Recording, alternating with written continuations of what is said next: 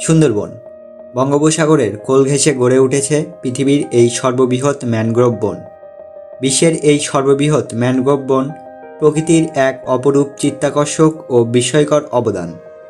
সেই সাথে বিশ্ববিখ্যাত রয়্যাল বেঙ্গল টাইগারের আবাসস্থল এই সুন্দরবন।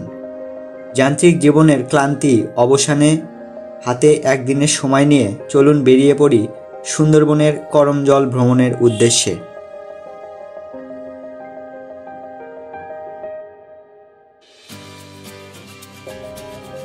সুন্দরবন ভ্রমণের প্যাকেজগুলো সাধারণত খুলনা কেন্দ্রিক হয়ে থাকে। এজন্য সুন্দরবন ভ্রমণের ক্ষেত্রে আপনাদের সর্বপ্রথম পৌঁছাতে হবে খুলনা নদীবন্দর অথবা মংলা ফেরি বন্দরে। সায়দ্রাবাদ বাস টার্মিনাল থেকে নন এসি বাসে জনপ্রতি ছয়শো থেকে সাতশো টাকায় পৌঁছে যেতে পারবেন মংলা ফেরি বন্দরে। সময় লাগবে আনুমানিক ছয় থেকে সাত ঘণ্টা। মংলা ফেরিঘাট থেকে সবাইকে শুভ সকাল। রাত নয়টা থেকে দশটার মধ্যে ঢাকা থেকে যাত্রা শুরু করলে সকাল সাতটার পূর্বেই পৌঁছে যাবেন মংলা ফেরিঘাটে। সকালের নাস্তার পর্ব সেরে আমরা করম জলের উদ্দেশ্যে যাত্রা শুরু করি। এক্ষেত্রে বলে রাখি, যদি আপনারা সংখ্যায় বেশি হন বা দল সহকারে ভ্রমণে আসেন, তবে একটি ইঞ্জিন চালিত নৌকা রিজার্ভ করে যেতে পারবেন সুন্দরবনের করম জলে। এবং সংখ্যায় যদি কম হন, সেক্ষেত্রে যে কোনো একটি ভ্রমণ দলকে বাছাই করে তাদের সঙ্গে যুক্ত হয়ে যেতে পারবেন সুন্দরবনের করম জলের উদ্দেশ্যে।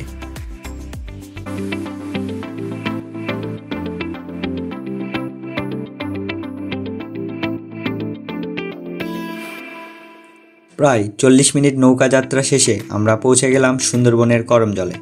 সাধারণত একদিনের জন্য যারা সুন্দরবন ভ্রমণে আসবেন, তাদের জন্য এই করম জলই হবে প্রথম এবং একমাত্র টুরিস্ট স্পট। করম জলে প্রবেশের পর সর্বপ্রথম চোখে পড়বে সুন্দরবনের একটি বিশাল মানচিত্র। এটি দেখলে সুন্দরবনের বৈচিত্র্য সম্পর্কে আপনার ধারণা আরও স্পষ্ট হবে। পরম জলে পেয়ে যাবেন সুন্দরবনের টাটকা ডাব, যেগুলোর মূল্য নেবে সত্তর থেকে আশি টাকা।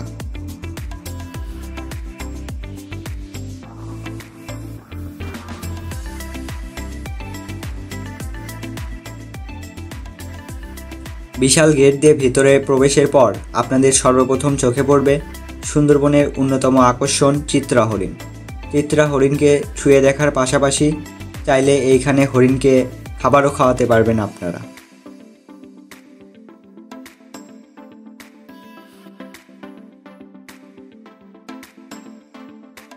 গরম জলে রয়েছে কুমিরের কৃত্রিম প্রজনন কেন্দ্র। বেশ কয়েকটি খাঁচায় রয়েছে ছোট ও বড় মাপের বেশ কিছু কুমির।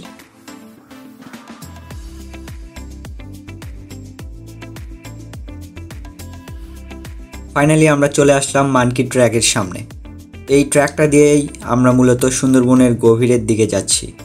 এই কাঠের পথটির নাম মানকি ট্র্যাক হওয়ার অন্যতম কারণ হলো, পথটি দিয়ে ভিতরে প্রবেশের সময় এর চারপাশে প্রচুর পরিমাণে বানর এবং বানরের নানা অ্যাক্টিভিটিস আপনারা দেখতে পারবেন। তবে অবশ্যই বানরকে বিরক্ত করবেন না। বিরক্ত করার ফলে বানর অনেক সময় আক্রমণাত্মক আচরণ প্রদর্শন করে থাকে। বানর ছাড়াও দুই পাশে চোখে পড়বে সুন্দরী সহ পাইন ও গেওয়া গাছের সারি এবং অসংখ্য শ্বাসমূল।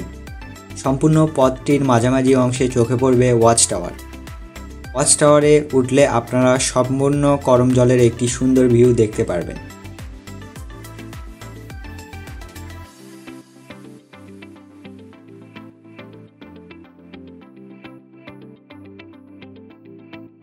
এই পথটা ধরেই মূলত আমরা বনের ভিতরে প্রবেশ করি এবং এই পথটা ধরে আমরা আরও সামনে এগিয়ে যাব। এবং মূলত এইটাই হলো করম জলের সম্পূর্ণ ভিউ।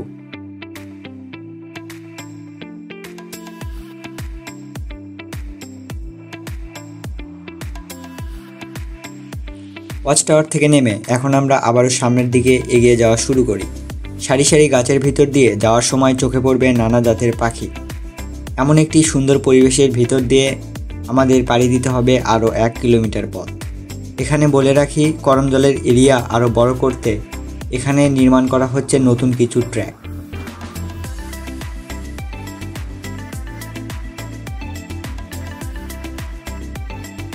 দীর্ঘ সময় সুন্দরবনের গহীনে ঘোরাফেরার পর আমরা আবারও ফিরে আসি মূল গেটের সামনে। হাতে সময় থাকলে নৌকাতে করে ঘুরে দেখতে পারবেন করম জলের সামনে অবস্থিত সম্পূর্ণ ক্যানেলটি। আজকের ভ্রমণ এই পর্যন্তই। আশা করি ভালো থাকবেন এবং আমাদের সাথেই থাকবেন। খুদা হাফেজ।